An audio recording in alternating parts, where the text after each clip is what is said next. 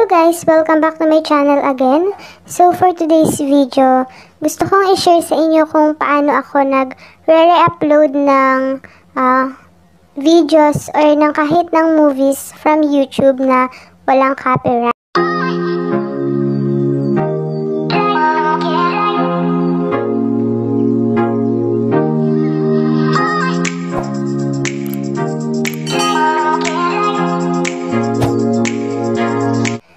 Guys! Welcome back to my channel again. So for today's video, gusto kong i-share sa inyo kung paano ako nag-re-upload ng uh, videos or ng kahit ng movies from YouTube na walang copyright. So, para dun sa mga tao na gustong uh, gustong magsimula ng YouTube nila, na ayaw nilang gumawa ng sariling content, isa to, makakatulong to para ano para kumita ka rin sa YouTube. So, umpisahan na natin. Una, punta muna tayo sa YouTube. Bagal ng internet guys, sorry. So, search tayo ng gusto nating i-re-upload. So, for example, gusto nating mag-re-upload about cooking tutorial. So, search lang. Ang bagal ng internet. So, nakikita nyo ba tong uh, parang mga line-line dito sa right side, sa taas? I-click lang natin yan. Yan. Then, ito yung lalabas. So, i-click natin ito, Creative Commons. Then, click Apply. Then, yan. So, kung uh, mapapansin ninyo, nawala yung ibang video, ibang videos. Kasi ito, parang dito, nasala na siya. Ito na yung mga videos na pwede, pwede natin i-reuse. But still, kailangan pa rin natin i-check ng maigi. So, pili tayo dito ng gusto nating i-re-upload. So, for example, ito yung mapili natin. Yan.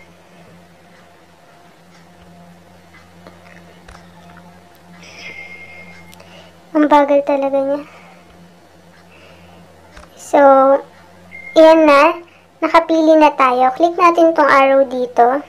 Then, check natin tong description niya.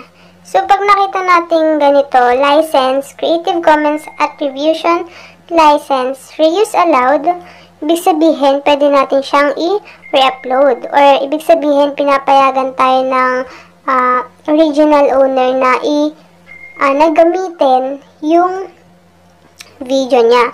Pero, guys, remind ko lang kayo na hindi lahat ng reuse, uh, ng mga pwedeng i-reuse na videos is wala nang, hindi ka na, uh, hindi ka na pwedeng makopyright.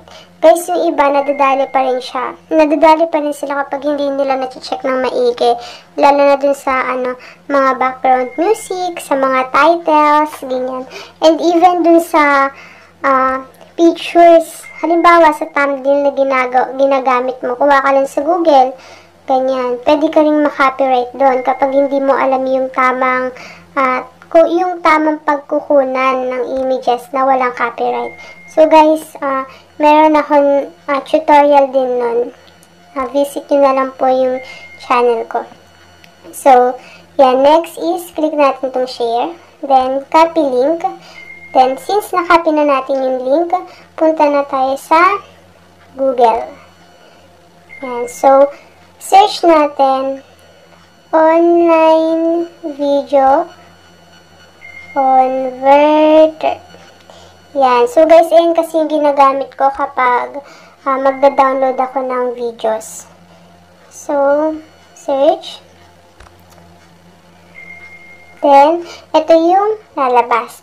Free video converter by FreeMake convert MP4, MP4 and MP, MP3. So, click lang natin iyan. Then, ito na siya. So, di ba may kinapit tayong link kanina from YouTube? Paste lang natin siya dito. Yan. So, click natin tong con- convert now. So, hintayin lang natin siyang mag, ah, mag-download. Oh, wait. Nangyari. Yan. So, sabi the download has started. So, check natin.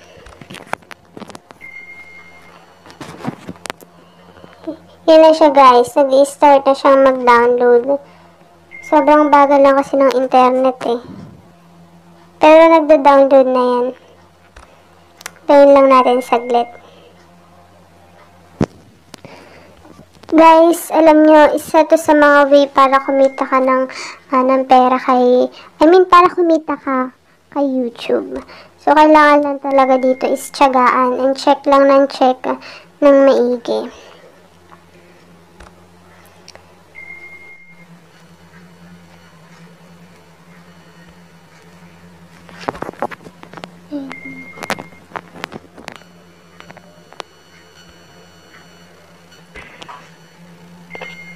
So guys, hintayin lang natin. Saglit na lang patapos na siya. Sobrang bagal ng internet.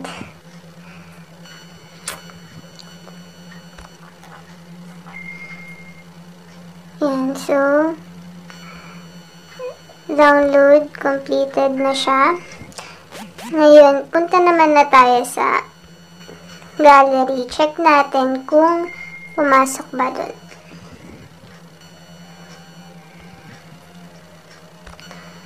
So guys, ito na siya. Yan. So yun lang, ganun lang siya kasimple. So after nun, punta na lang kayo sa YouTube. Then, ah, gawin nyo kung ah, paano yung way, paano yung way nyo kapag nag-upload kayo. Then, guys, wag nyo naman nang gayahin yung title ng pinagkuhanan ninyo ng video. Gumawa na lang kayo ng sarili ninyong title, then description. Then, lagyan nyo rin siya ng tags para mas maging searchable siya. So, sa akin kasi ginagawa ko, pina-private ko muna siya. eh. Chine-check ko muna siya bago ko siya i-public. So, yun lang. Basta, pinaka-importante, huwag ninyong kakalimutan yung Creative Commons. Yun yung pinaka-importante talaga. So, yun lang guys. Ah, sana may natutunan kayo. Ah, please like and subscribe. Thank you.